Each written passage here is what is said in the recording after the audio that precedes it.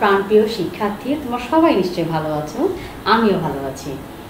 আর আমরা কিন্তু গতানুগতিক আমাদের ক্লাসে যেরকমভাবে উপস্থিত হই, আমরা কিন্তু আবার চলে এলাম, তাই না? আমরা আজকে আমাদের চারপাশে কতগুলো জিনিস রয়েছে, সেগুলো নিয়েই আমরা আজকে আলোচনা করব। আমাদের চারপাশে কি রয়েছে?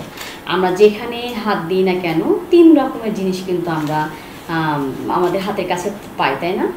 আমরা ভাত খাচ্ছি, ধরো ভাতের টেবিলে আমি কি পাচ্ছি? আমি গ্লাসটা নিলাম। সেটা হয় কাচের হবে অথবা কি হবে? স্টিলের হবে, তাই না? আচ্ছা তারপর প্লাস্টিকেরও হতে পারে মেলামাইন হতে পারে। তারপর আমি যখন আম, কি করছি? আমি যখন গোসল করতে যাচ্ছি তখন কি হয়? প্লাস্টিক পাবো। অথবা কি মগ স্টিলের মগ হতে পারে প্লাস্টিকের মগ হতে পারে তাই না? মোট কথা তুমি যখন পড়াশোনা করছ তখন পড়ার টেবিলেও বিভিন্ন রকমের জিনিস আছে তাই না? তা আমরা আজকে আমাদের এই দৈনন্দিন জীবনে কতগুলো জিনিস নিয়ে আমরা আলোচনা করব? সেই জিনিসগুলো আসলে আমরা কীরকমভাবে এগুলোকে আমরা মানে শ্রেণীভাগ বা শ্রেণি বিন্যাস করি সেটা সম্পর্কে আমরা জানব। আমরা কিন্তু এই জিনিসগুলোকে তিনটি ভাগে আমরা সাধারণত ভাগ করি। একটা হচ্ছে কি কঠিন, তরল আর বায়বীয়। আবার তুমি যখন শাসন কাজে কি করছ? বাতাস থেকে অক্সিজেন গ্রহণ করছ, এটা কি? বায়বীয় পদার্থ? তরল তো বললাম। তুমি গোসল করছ কি দিয়ে? পানি দিয়ে। পানিটা তরল, তাই না? তাহলে আমরা এগুলো সম্পর্কে একটু আরেকটু ভালোভাবে জানি, তাই না? কি? এখানে কি? কঠিন পদার্থ নিয়ে আমরা প্রথমে কথা বলি। কঠিন কি? তুমি একটা চামিচ দিয়ে খাবার খাচ্ছ, এটা কি কঠিন পদার্থ? আমার হাতে একটা স্টিক তোমরা দেখতে পাচ্ছ, এটা কি? এটা হচ্ছে কঠিন পদার্থ, তাই না? আচ্ছা তাহলে কঠিন পদার্থের ক্ষেত্রে কি রয়েছে? আমি হাতে তোমাদের একটা বললাম যে আমার হাতে একটা চাকু রয়েছে, ঠিক আছে? আমি চাকু দিয়ে আমি বলি আমার একটা একটা একটা চাকু রয়েছে, সে চাকুটা আসলে কি? এটা ধাতব পদার্থ, তাই না? এটা কি আছে? এটা নির্দিষ্ট একটা আকার আছে, তাই না? তারপর কি আছে? এটা রেখে দিলে একটা নির্দিষ্ট জায়গা দখল করবে। আচ্ছা তারপর কি আছে? দৃঢ়তা আমি কিন্তু সহজে কিন্তু এটাকে কিন্তু ভাঙতে পারব না, তাই না? এটা কিন্তু দৃঢ় দৃঢ়। তাহলে আবার কি? এটা আকার পরিবর্তন সহজে আমি করতে পারব না। তাহলে এগুলোই কি আমাদের? এগুলোই আসলে আমাদের কঠিন পদার্থের কি? বৈশিষ্ট্য। আচ্ছা এখন চলে আসো তরল পদার্থের ক্ষেত্রে। তরল পদার্থের ক্ষেত্রে বলতে গেলে দেখো, আমার হাতে দেখো যে আমি একটা গ্লাসে করে আমি পানি নিয়েছি, তাই না? একটা গ্লাসে আমি পানি। এই পানিটা আমি গ্লাসে নিয়েছি বলে এটার আকৃতিটা এরকম গ্লাসের মতো হয়েছে। আমি যদি এখন এটাকে ঢেলে বাটির ভিতর নিই, তাহলে কি হবে? ওটা বাটির আকার ধারণ করবে। তাহলে কি হচ্ছে? যে এটা নির্দিষ্ট তোমার একটা বলতে পারি আমরা যে এটার আসলে কি কোনো আকার নেই, নির্দিষ্ট কোনো আকার নেই। কিন্তু আয়তন কিন্তু আছে। আমি কিন্তু মেপে কিন্তু বলতে পারব এখানে কতটুকু পরিমাণ পানি আছে, কতখানি হাফ লিটার আছে না এক লিটার আছে, আমি কিন্তু বলতে পারব। তাহলে দেখো, এর কিন্তু দৃঢ়তা নেই। এটা কিন্তু পানিকে তুমি যেভাবে রাখছি, সেভাবেই থাকছে, তাই না? কোনো দৃঢ়তা নেই এটা।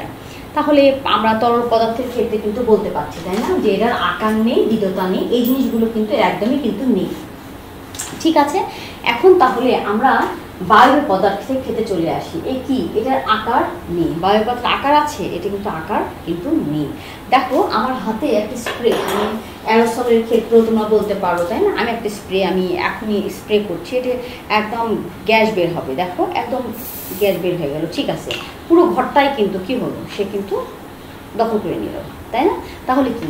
এই আমরা বলতে পারি, গ্যাসীয় পদার্থের ক্ষেত্রে কিন্তু আমরা তাহলে বলতে পারছি, এর আকার নেই, এর আয়তন নেই, যেই পাত্রে রাখব, সেই পাত্র পুরোটাই সে দখল করে নেবে। তাহলে কি? এটা হচ্ছে কি হচ্ছে? বায়বীয় পদার্থের ক্ষেত্রে হচ্ছে, তাই না? তাহলে আমরা এদের সম্পর্কে আমরা জানলাম যে আসলে কি। এখন আমরা চলে আসি আমাদের ধাতব পদার্থগুলোর ভেতরে আরও কতগুলো জিনিস রয়েছে, সেগুলোকে আমরা বিভিন্নভাবে কিন্তু আমরা এটাকে চিনতে পারি। কী রকমভাবে বলতে পারি? যেমন মৌলিক পদার্থকে আমরা কি দুটো ভাগে কিন্তু ভাগ করতে পারি। মৌলিক পদার্থটা কি সেটা আমাদের আগে জানতে হবে। মৌলিক পদার্থ হচ্ছে এমন একটি পদার্থ যেটা ভাঙলে কেবলমাত্র আমরা একই রকম পদার্থ পাবো। যেমন ধরো, এই চাকুটা যদি লোহার হয়ে থাকে বা স্টিলের হয়ে থাকে, তাহলে আমি কিন্তু ভাঙতে ভাঙতে শুধুমাত্র ওর একই রকম পদার্থ পাবো, দুই রকম পদার্থ পাবো না। তাহলে ওটা কি? মৌলিক পদার্থ।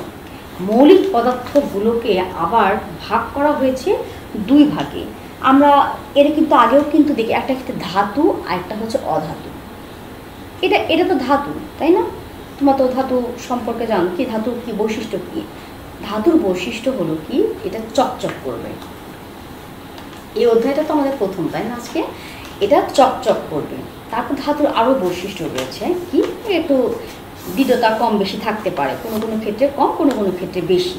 আচ্ছা তাহলে ধাতুর ক্ষেত্রে তাপ পরিবহন ক্ষমতা থাকবে, কি থাকবে? এটা এটা কিন্তু আমি যদি ইলেকট্রিসিটি বা বলছি বলছি আমরা যে তাপে যদি আমি যদি একটু গরম পানির ভিতর দিই, কিছুক্ষণ পরে কিন্তু আমার হাতে কিন্তু কি হবে? এটা কিন্তু একটা আমাদের গরম লাগবে। তার মানে কি? তাপটা পরিবহন করছে।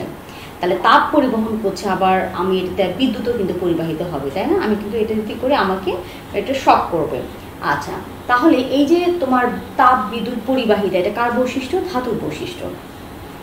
আচ্ছা এখন দেখো, আমরা ধাতু কতগুলো বৈশিষ্ট্য সম্পর্কে আমরা জানলাম। এখন আমাদের একটা জানতে হবে, অধাতু। অধাতুটা কি? এই যে ধাতুর বৈশিষ্ট্য বললাম, এগুলো কিন্তু অধাতুর বৈশিষ্ট্যের মধ্যে কিন্তু নেই। অধাতু বলতে আমরা যাদের নাম প্রথমেই, আমি যাদের নাম বলব, সেগুলো কি? আমরা অধাতু বলতে আমি প্রথমে যাদের নাম বলব, এই যে হাইড্রোজেন, অক্সিজেন, কার্বন, এগুলো সবই হচ্ছে অধাতু। এরা ধাতুর মতো চকচক করবে না, তাপ বিদ্যুৎ পরিবাহী নয় এগুলো হচ্ছে কি? অধাতু। তাহলে আমরা কিন্তু ধাতু, অধাতুর মধ্যে পার্থক্য কিন্তু জানলাম একটু হলেও, যে এগুলো কি? অধাতুগুলো ধাতুর মতো চকচকে না, তাপ, বিদ্যুৎ, সুপরিবাহী নয়, কিন্তু ধাতুগুলো তাপ, বিদ্যুৎ, সুপরিবাহী হয়ে থাকে। আচ্ছা এখন দেখো আমরা একটা পরীক্ষা এখানে করতে পারি। বিভিন্ন রকমের ধাতব পদার্থ মধ্যে যে তোমার তাপ পরিবহনের যে ভিন্নতা রয়েছে, সেটা আমরা এখানে একটা পরীক্ষার মাধ্যমে আমরা বলতে হবে তার আগে একটা কথা বলে নিই। কতগুলো যন্ত্রাংশের নাম তোমাদের জানতে হবে, যেটার ভিতর দিয়ে কী হয়? তাপ পরিবহনের প্রয়োজন হয়। যেমন ধরো, আমরা বলছি যেটা, কতগুলো নাম? এসি বা আমরা বলছি শীতাতাপ নিয়ন্ত্রণ যন্ত্র বলছি। রেফ্রিজারেটর বা ফ্রিজ বলছি আমরা, এগুলোতে কি হয়? আমাদের এগুলোতে কি হয়? আমাদের সৌর প্যানেলেও এগুলোতে তাপ পরিবহনের প্রয়োজন হয়। এগুলোতে আমরা সেজন্য ধাতব কতগুলো, যেগুলো বেশি তাপ পরিবহন করতে পারে, সেই সেই ধাতুগুলো ব্যবহার করে থাকি আমরা। তামার পাপ ব্যবহার করে থাকি। আচ্ছা এখন আমরা এই পরীক্ষা দেখো তোমাদের বইতে তোমাদের বইতে সাত পয়েন্ট দুই চিত্রে একটা ছবি দেওয়া আছে। সে ছবিতে কিন্তু বিভিন্ন রকমের পদার্থের তাপ পরিবাহিতা পরীক্ষা করা হয়েছে। আমরা কীভাবে সেটা করব? দেখো, আমরা প্রথমে তিনটি চামিজ নেব। তিনটি চামিজ আমরা এরকমভাবে নিব। এখানে এখানে আমার কাছে কিন্তু তিনটে চামিজ কিন্তু রয়েছে। দেখো, এই যে এখানে, এটা কাঁচের, একটা কাঁচের চামিজ রয়েছে, একটা কাঁচের, একটা রয়েছে প্লাস্টিকের আরেকটা রয়েছে কি?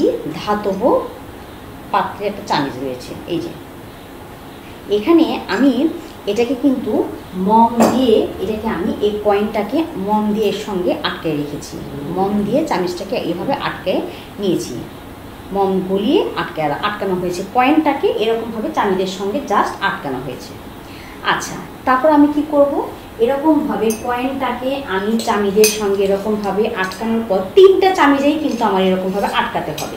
এই যে আমার হাতে তিনটা চামিজ রয়েছে, এই তিনটা চামিজে এরকমভাবে তোমার কী করতে হবে?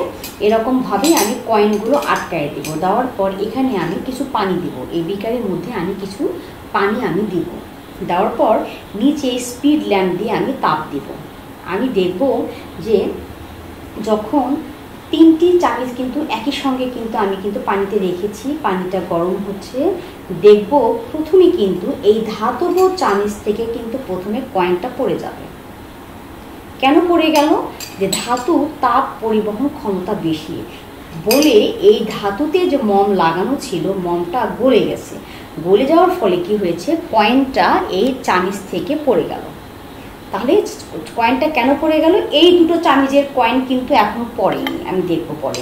কেন পড়েনি? দেরিতে পড়বে। কেন দেরিতে পড়বে? যে প্রথমে ধাতব চামিজেরটা পড়বে, তারপর কি পড়বে? প্লাস্টিক বা কাচের পড়তে পারে। কেন পড়বে এগুলো? পরে এগুলোর তাপ পরিবহন করার ক্ষমতা ধাতুর চাইতে কম। যার কারণে মমটা পরে গলে যাবে, তারপর কি হবে? চামিজ থেকে কয়েনটা পড়ে যাবে। এরকমভাবে আমরা কিন্তু বলতে পারি কি, বিভিন্ন ধাতু এই ছবিটা যদি দেওয়া থাকে, তাহলে আমরা ছবি দিয়ে বুঝতে পারব যে এখানে বিভিন্ন পদার্থের তাপ, পরিবহন ক্ষমতা বোঝানো হয়েছে এবং কি সম্পর্ক? যে পানির ভিতরে রাখার ফলে, পানিটা গরম হওয়ার ফলে সেই পানিটা তাপমাত্রা পরিবাহিত হলো ধাতব চামিজের ক্ষেত্রে। কেন হলো? এই পানিটা থেকে তাপ গ্রহণ করল এই ধাতব চামিজ বা ধাতব ধাতব বস্তু। তার ফলে কি হলো? সেই তাপটা মমটাকে গলাতে সাহায্য করল এবং তখনই কি হলো? কয়েনটা গরম হয়ে মোম থেকে খুলে পড়ে গেল।